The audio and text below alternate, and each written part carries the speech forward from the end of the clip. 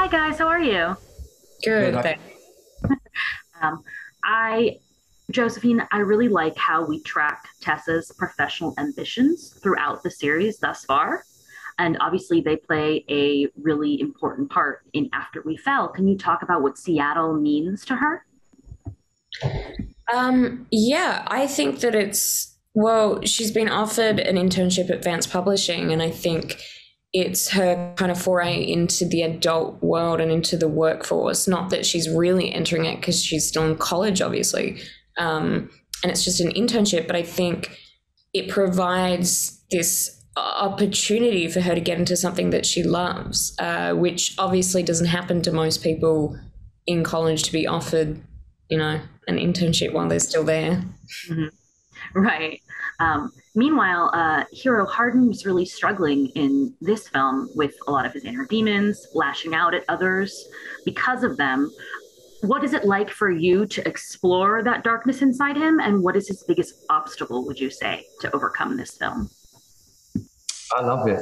Uh, I love it. I enjoy. I enjoy it. Yeah, um, it's quite freeing to be able to do that because I feel like we're restricted. We restrict ourselves a lot, and Hardin doesn't. And and at times, um, I have to admit it is quite enjoyable. But obviously, on the flip side, as you say, the, the biggest obstacle to overcome is is is that his te- is his temperament and his you know vulnerability and and how much he relies on the alcohol and and how kind of he is still broken inside and how I guess dependent he is on Tessa and a number of things.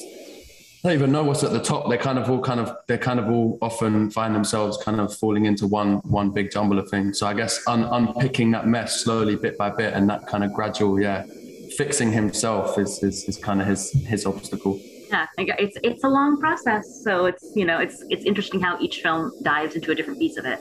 Uh, Yeah. Josephine, um, so Castille Landon takes the reins directing this film. Uh, did she bring a different perspective for you? I just personally was surprised by like how young she is, and I feel like that youthful energy is in the film.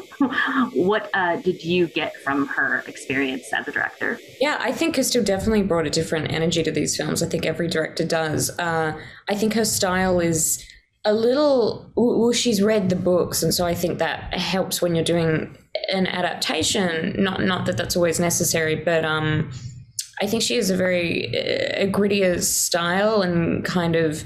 She's very. Uh, she's very sensitive, and I think she captures the sensuality well and uh, she kind of gives the room, uh, the scenes room to breathe. Um, and yeah, being young and I think coming from an acting background definitely helps that. I love that.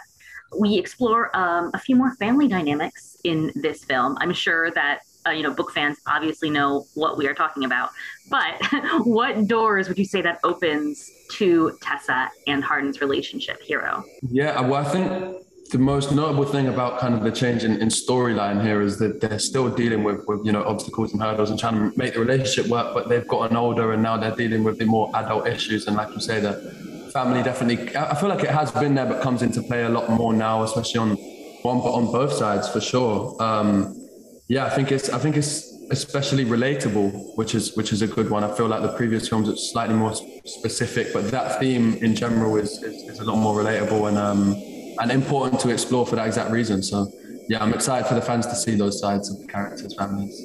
Definitely. On the flip side, um, Tessa gets a lot of opportunities to compare what perhaps a relationship with another man could be that is not Hardin, and yet she knows that she wants Hardin, and that's that's not you know there's never like wavering for her. What is it that you think Tessa sees in Hardin that always draws her back to him? Well, um, yeah, I first of all, I don't think it's just this film. I think in all the films, she has an opportunity to compare him to another guy. Uh, I, I, think that part of the frustration and, and part of the draw of the relationship is that she doesn't exactly know. They don't really know, at least at the start, why they're drawn to one another. Um, it's a bit of an intangible connection, but I think that if you were really to analyze it intellectually, they're very similar. And I think that they just have qualities that complement one another. And it, eventually they, they bring out the best in one another. I think they also bring out the worst. But I think it's that situation, not so much of opposites attract, but just different people complementing one another's qualities. Oh, that's great. Well, you guys did a great job, and I am sure that your fans are super excited to see this uh, chapter of the film. And meanwhile, now I'm waiting for you know the wrap up because I'm like, well, how are we gonna? How is this gonna turn out? So thank you guys so much. Have a Thank great day. Thank you, mm-hmm. Tatiana. Thank you so much.